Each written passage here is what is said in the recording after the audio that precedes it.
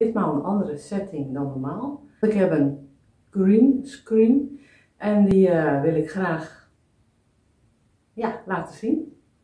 Ik vond het, uh, leek me al, ik, denk, ik had al een half jaar in gedachten, hé, hey, dat lijkt me leuk om ook dat soort video's te kunnen opnemen. Met zo'n uh, screen aan de achtergrond. Gaan beginnen en dit keer gaan we het hebben over dieren in de Lulleman. Want het kan heel goed zijn dat jij een huisdier hebt of dat je ook eens een kaart wil leggen met de dieren in de Lulleman. Gaan we even één af en ik ga kijken of daar dieren aan gekoppeld zijn. Nou, de een. Nou je ziet het natuurlijk al. is op zich heel makkelijk. De ruiten kan je natuurlijk gebruiken voor je readings als paard. Of pony, wat jij wil.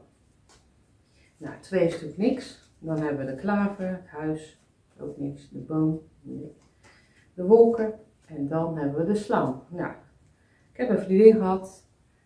En die had slangen. En dat was uh, eigenlijk heel erg leuk. Tenminste, dat vond ik. De 8, doodskist, nee. Tulp ook niet. Zeist niet. Roeder niet. De vogels.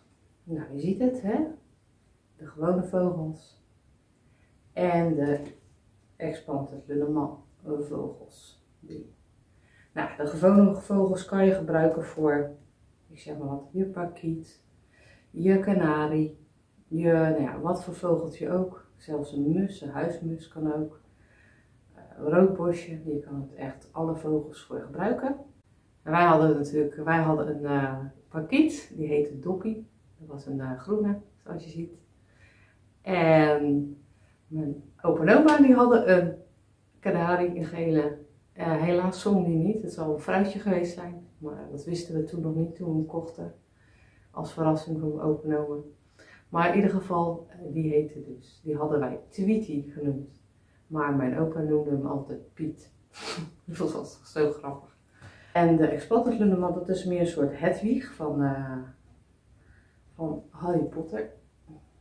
Ja, die kan je gewoon gebruiken voor uh, de wat grotere vogels. Ja, zoals de uilen, steenel. Of andere soorten uilen. Of gewoon hele grote vogels. 13. Kind? Nee. Nou ja, 14 zegt het al. De vos, vosje. Kan je natuurlijk ook gebruiken voor uh, ja, vossen, in dit geval. Dus dat is uh, makkelijk. Ja, de beer, nou ja, hup, zegt het al.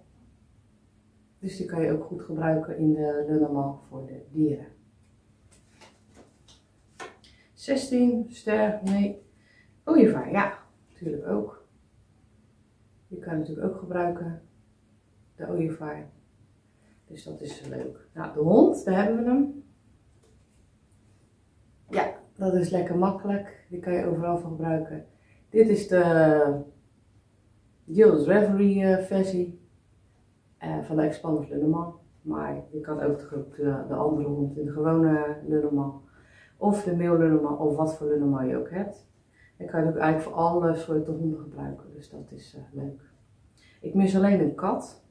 Dat is wel dat ik denk, dat is jammer, die mis ik. En dan kan ik ook niet echt goed zeggen, nou dan kan je een andere voor gebruiken. Dus dan zou je dan in dit geval even heel erg door je oogharen moeten kijken. En de hond voor kunnen gebruiken. Dan maar voor een kat, in dit geval. Wij hadden de twee, de een heette Minus en de andere heette Pompidon.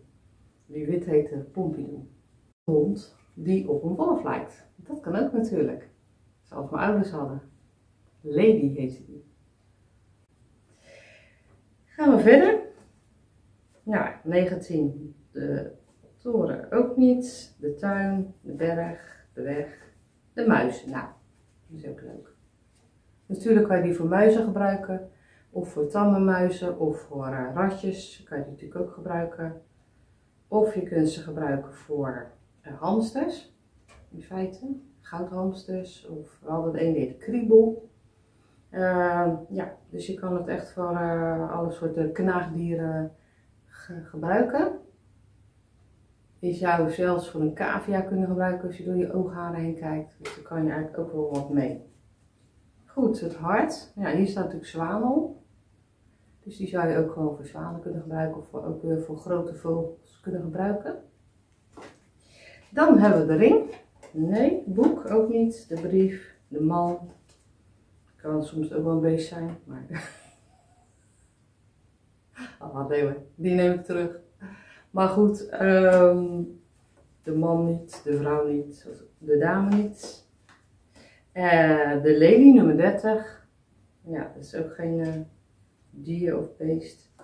Zon, de maan 32, sleutels. De sleutel nummer 33. De vissen, ja, natuurlijk. Alle soorten vissen gebruiken we natuurlijk. Voor kooi, voor nou ja, wat je goudvissen, voor, voor alles. Ook die hadden we. Tenminste, mijn zus had die en dat was uh, eitel en boor. Ja. En het anker en het kruis. Nee.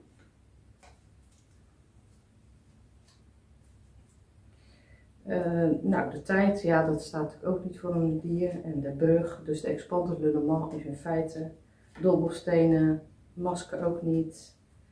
Nou ja, de wensput natuurlijk ook niet. Dus eigenlijk al die le die expanter le die staan daar niet voor. Kompas niet. Uh, nou ja, doolhof ook niet. En het labyrint. Doolhof ook niet. En de loop ook niet. Dus die normand, die staan niet voor dieren. Maar de rest daar kan je echt wel wat mee. Uh, misschien heb jij dit al gedaan. Dat je denkt, ja, dit heb ik al gedaan met dieren, of voor dieren gelegd, of voor mijn huisdier gelegd. En het kan ook zijn dat jij zegt van ja, maar even die kaart kan je ook gebruiken voor een dier, wat je nog niet hebt genoemd. Dan hoor ik dat graag, want daar leer ik eh, ook van. En dat vind ik eigenlijk ook wel heel erg leuk om te weten van, hé, hey, wat voor dier kan er nog meer gebruikt voor worden? Het kan ook iets van fantasie zijn. Dat je denkt van nou ja, oké, het is niet speciaal dier wat erop staat, maar ik heb hem toch gebruikt voor dat en dat uh, dier, zeg maar. Dus laat het me weten. En dit was het dan weer de ehm, eerste video met het green screen. En er zullen er zeker nog uh, meer volgen. En dus ik zou zeggen, sowieso tot de volgende video. En een hele fijne dag voor jou.